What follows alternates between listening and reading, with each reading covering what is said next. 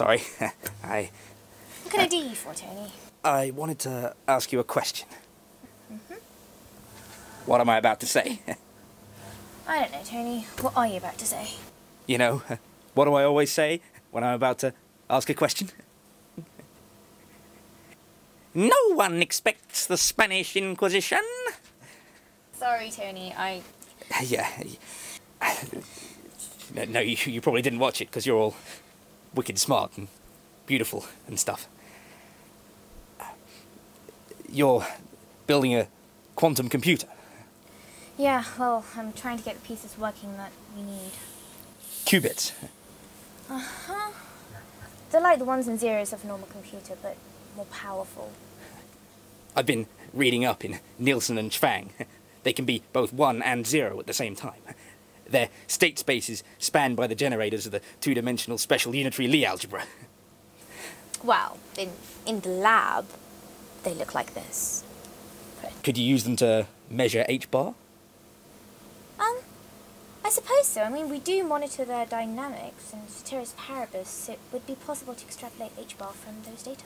Humongous. I mean, there's a theory that the quantization parameter H bar could have changed its value in the past. The telescope guys are making some fuss about some recent observations. And I think, it's just a theory, but I think H bar could change again. I mean, if you got sufficient quantity of the right dark matter, uh, you could build a, a device, a, weapon, I guess. But, but I guess. H, but H bar is the core of quantum physics. I mean, it's it's a cosmic number. You, it's like trying to change the value of pi or something.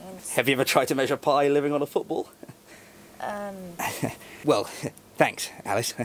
If you get any data you could use to measure this cosmic number, just shush me. Tony, I can't shush you. I don't have your IP. FTP me? Well, if you send me your Mac, I can ping you the ASCII. Ping me? Tony, I'll just I'll just send you the files. Okay, cool. You and me, same wavelength.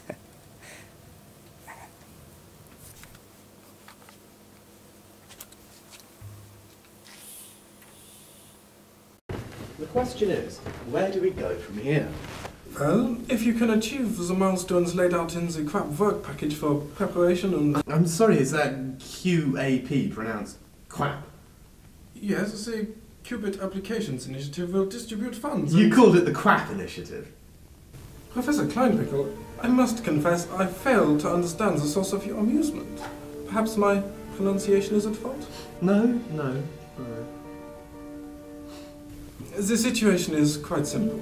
There are EC funds available for developing qubits into a device, providing they can be produced reliably.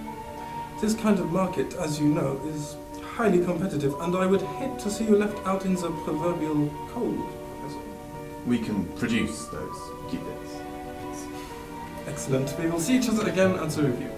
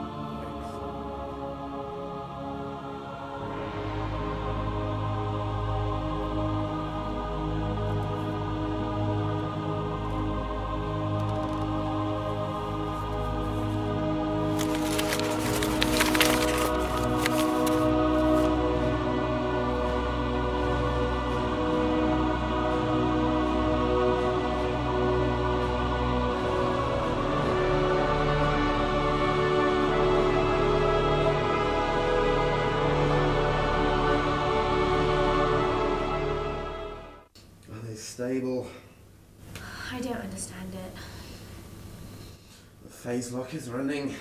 Yes, and I'm double passing the SHG, so the gate pulse is self. So, so you're using a Hahn sequence to probe. Yes, David. But the Hahn sequence hardly lasts out a single rephasing. So lock to the zone center doublet and repump. You'll eliminate the Mossbauer shifts that way. I've tried that. David. Well, try it again, for Christ's sake! Try it again, I. Ugh.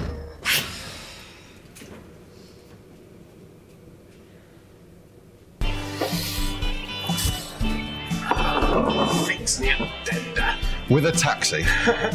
Very good, very good. Your bibby humour is worth a nugget. Always welcome. That's not allowed. Come on, Professor, we're closing up. By, by the rules, that's not allowed. Well, we'll be on the windy side if you stay here, so sling your rock. Broken. That's that's.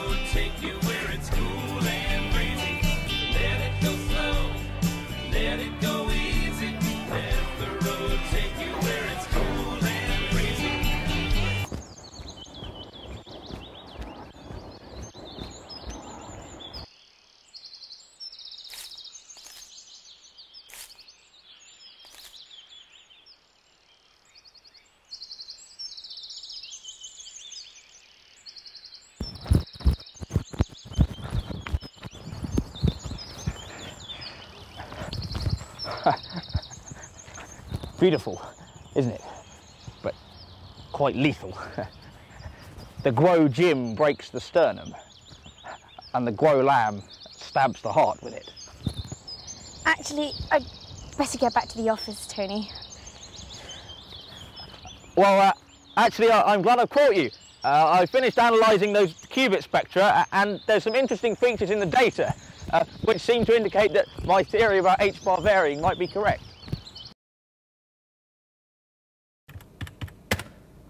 And this is averaged over all five of your qubits. You derive this estimate from the doublet splitting? Uh, actually, there's an anti-crossing uh, at the cavity resonance is about 4 eV, so these values are calculated from the Kondo factor. Uh, that's a more direct method. This is incredible, Tony. Fluctuations this large would kill the interference. Have you spoken about this to David? Uh, actually, I haven't seen the prof at all this month. No, not since. Not for ages.